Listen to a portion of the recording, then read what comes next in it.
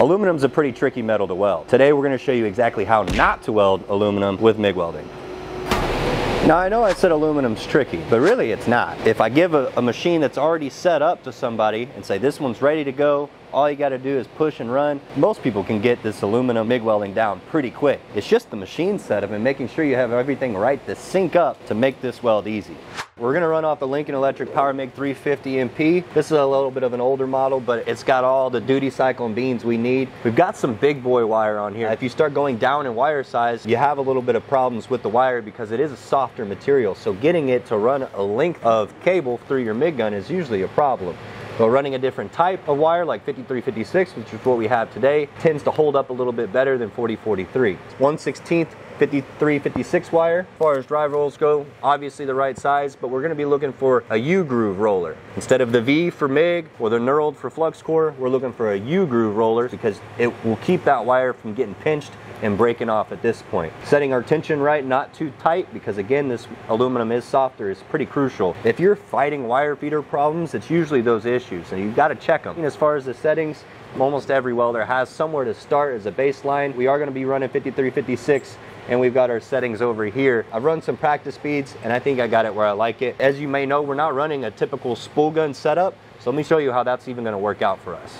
Now, one of the biggest reasons why a spool gun exists is the spool of wire is actually located on the actual MIG gun. This really helps because it only has a short distance to travel and you end up nipping a lot of those problems in the butt because it doesn't have a long way to go. You can opt to just run a normal MIG gun with a Teflon liner with those U-groove rollers and you can make it about 10 feet tops. Now, if you wanna get any further, you need to look at other options like a spool gun or if you want to keep running bigger spools without changing them out and you still want to get some distance, we're in Navicore Benzels ITC Center, so I dug around and found one of these Freedom drives. It's pretty neat, kind of a little happy medium with a push-pull setup. It has this drive roll system here that pulls the wire along while the machine is still pushing wire through so that we're able to make it a lot greater distance.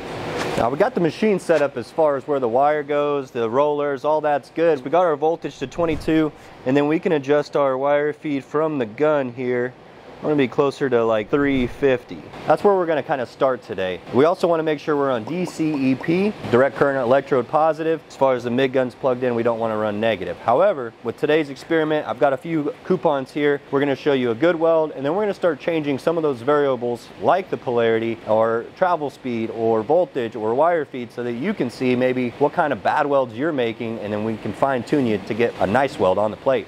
We got our 2F little fillet weld here, a lap joint, pretty simple. Always line up for where you're gonna finish, not where you start so that you finish comfortable. We want a nice push angle on this. We've got our argon set to around 30 CFH and we're gonna maintain closer to three quarters of an inch arc length compared to 3 eighths with MIG uh, steel, you know, short circuit. We're gonna be in the spray transfer and we're just gonna push it. No whipping, no pausing. We're gonna make a nice solid bead.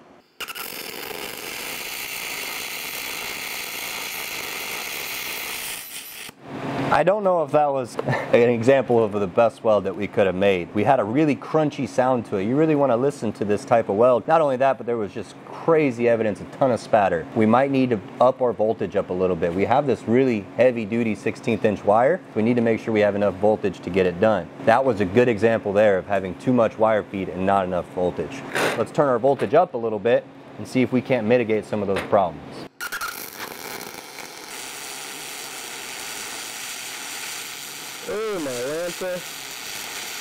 At the very beginning of this weld, I had some sound issues. It sounded a little bit better than prior now that we have a little bit more voltage for the wire, but it still had that short circuit sound. It still sounded crunchy. And remember what I said, we were looking for about three quarters of an inch contact tip to work distance, and I was closer to the 3 eighths. I noticed once I pulled away, we were looking pretty good. But as I started working across this plate, see this nasty, nasty bit at the end, it's almost at the point where we have too much of that push angle and we got too carried away and that argon shielding gas that we needed to make a good clean weld kind of dissipated and we get a lot more schmutz. This is a good example of contact tip to work distance and gun angle. We're going to try this again on another coupon and really try to make sure that we're maintaining more perpendicular. We've got the right contact tip to work distance all the way across. Going for the right arc length. Trying to stay, listen for that weld. I don't want it to sound too crunchy. That usually happens when you're getting too close. Making sure that wire's hitting in the right spot. I got the right travel speed for the weld size I'm looking for. trying to maintain a push angle.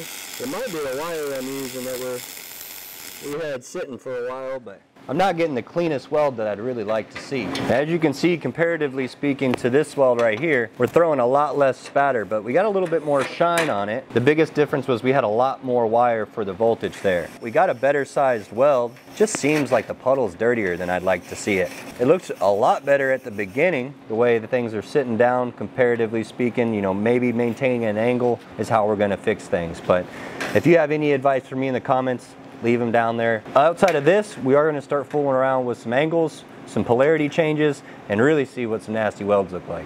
All right, for this beautiful weld joint, we're gonna start with the voltage and wire feed speed. We're gonna go over to the machine and turn down our volts somewhere in the short circuit range. Let's see what happens now. We haven't adjusted our wire feed. We just got too low of voltage. definitely a lot more spatter. That bead isn't wanting to lay down.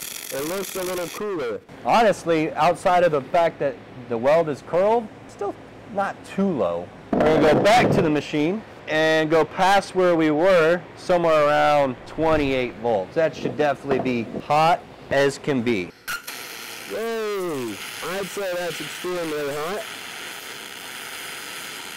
That was crazy. This wire is just getting vaporized before it gets to the plate. If you got that voltage way up there and not enough wire, you got a lot of problems on your hands. Now let's turn the voltage back down to where we had it, closer to 22.5, and now we're going to adjust our wire feed speed. We're gonna turn it up to like 600. Now, remember, wire feed speed is directly related to your amperage, so it should penetrate a lot more. Yeah, I don't think we need to get too far into that. Straight through the backside here.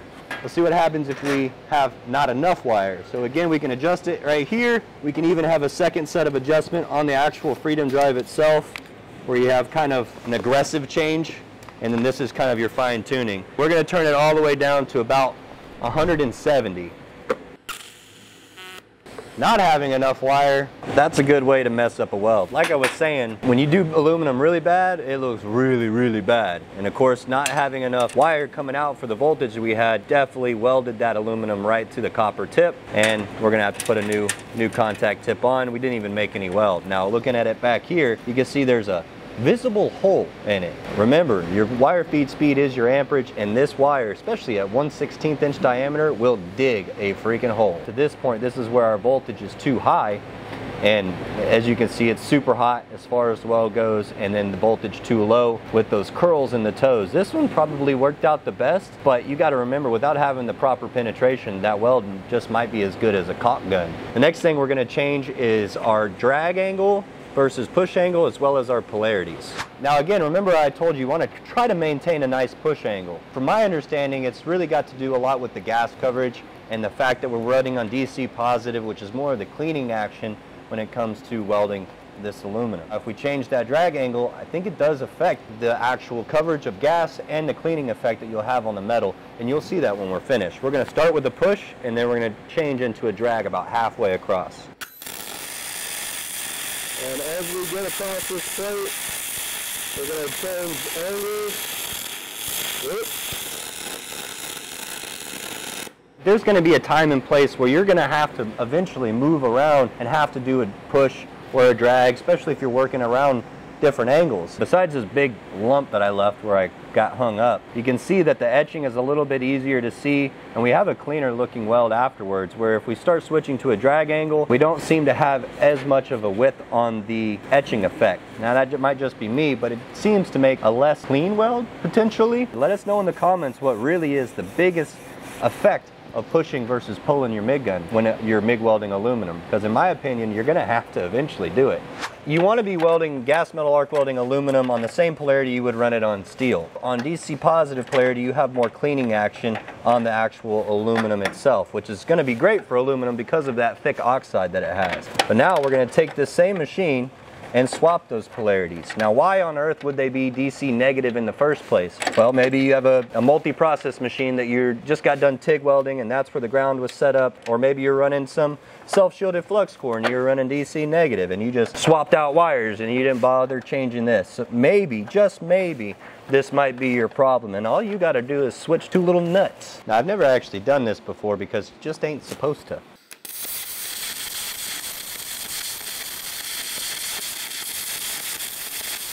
That's a good way to ruin a perfectly good coupon. If we're running DC negative polarity or DC straight, we've got the majority of our heat now into the base metal and less into our actual filler metal. This is 30% of the heat and this is 70% of the heat. And remember, on DC positive, you get more of that cleaning action, whereas DC negative, you get a lot of that penetration. We've got zero penetration on this plate. We only got globs of crap. There was no cleaning to be done to get past that oxide layer. So we are just dropping mad bombs that aren't fusing to just about anything. Just come right off. Definitely don't do DC negative. The last thing that we're going to cover is contact tip to work distance. Just where is that sweet spot with gas metal arc welding aluminum? It's really similar to steel welding and spray transfer. Really the best way that you're going to be able to tell if you're in the right spot is just by listening to it. That's what happens when you get too close. You start to get a really violent sound, which you can get away with. And it was pretty good. But we want to be a little bit further away and listen to that sweet spot. And if we get too far away, you're going to notice your weld's going to get a lot dirtier and a lot harder to move around. That's why we got to find that sweet spot and maintain it. Now looking over this, I'll be honest, we were closer to three quarters of an inch back here and I don't I don't love it as much as me getting a lot closer. That looks like the weld that I'm trying to achieve. And then we pull back a little bit and we start hearing it a little bit better. Now you can definitely tell when we get way out of our gas coverage and we get too far away, we've got a, just a mess of weld right here. And we start to push back into it and get our bead back again. I'm gonna try one more weld and I'm really gonna try to hone in all these variables to try to make one more better weld than the first one I made.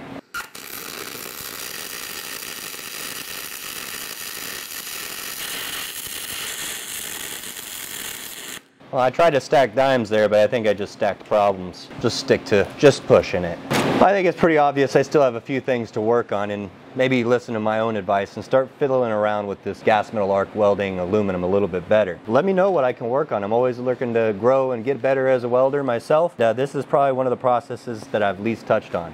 The only time I've ever used it was with the spool gun, and using something like this was pretty helpful. It's a lot more comfortable than having one of those big bulky spool guns and all that wire and weight on the back of it. Having just a regular MIG gun definitely felt a lot better. I appreciate you guys all for watching, and I hope you took some value out of it. I know what I need to work on. Hopefully you do too.